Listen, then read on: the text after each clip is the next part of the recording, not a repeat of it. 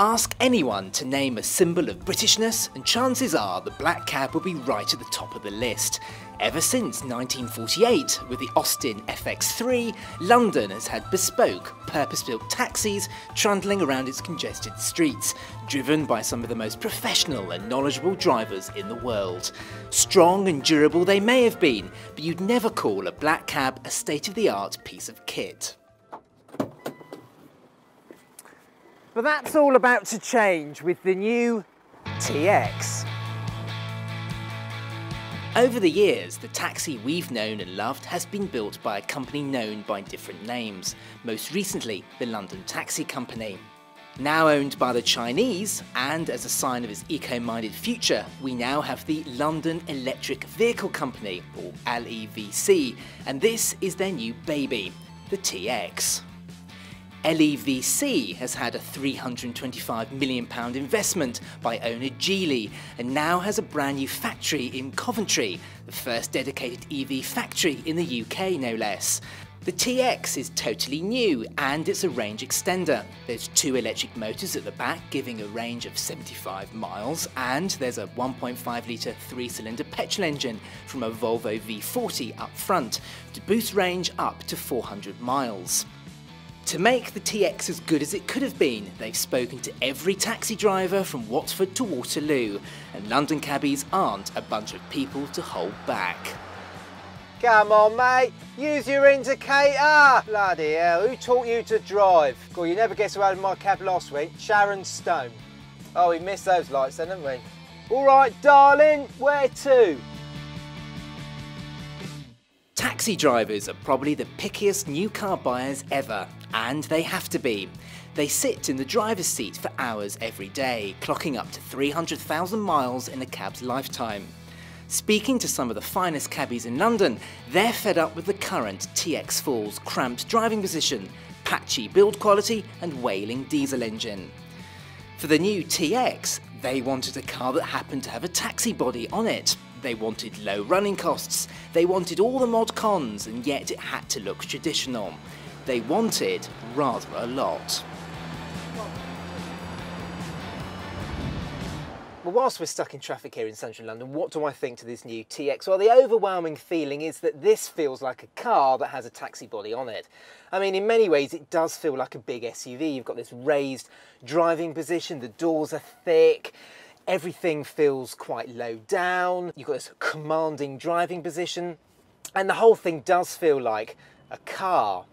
It feels even more like a car in many ways because if you look in here, virtually everything that you can see is taken straight out of a Volvo. Now putting aside the fact that the infotainment system and all the buttons are taken straight out of a Volvo XC90, so is the steering wheel, the start-stop engine button, the gear lever, even the key is taken straight out of a Volvo. I've been talking to a few taxi drivers today and a lot of them are very turned on by all this type of stuff. I mean the seat for instance is really really comfortable but that's not the thing that they're most interested in. Do you want to know what that is? it's a cup holder. For the first time ever, it seems, a taxi has got a cup holder. Taxi drivers, you've got to love them, haven't you? It's not just the fact that this feels like a car to drive, it's it also sounds like a car to drive. It sounds like any modern hybrid in many ways because this thing is so quiet. Now, if you've been in an old TX4 taxi, and I'm sure you have, it is so noisy. The diesel engine is rattling away, the automatic gearbox doesn't know which gear it should be in, and the whole thing is a pretty unpleasant experience, not only for the taxi driver, but also for the passenger as well. But this, it is so, so quiet. The ride is very good. The transmission is very smooth, so you tend to drive away. You tend to glide around town in many ways. The only thing I don't quite like is the regenerative brakes. Now, I've driven lots of cars, lots of hybrids and lots of electric cars with regenerative brakes. That's part and parcel of driving those types of cars. But in this, it does feel very, very spongy. And you can't help but when you come to a standstill, you come to a quite an abrupt halt. But apart from that, this is an incredibly good car to drive. That doesn't mean there are no faults. The new TX feels like an SUV to drive, which is great, but that also means it feels as big and as cumbersome as a Chelsea tractor.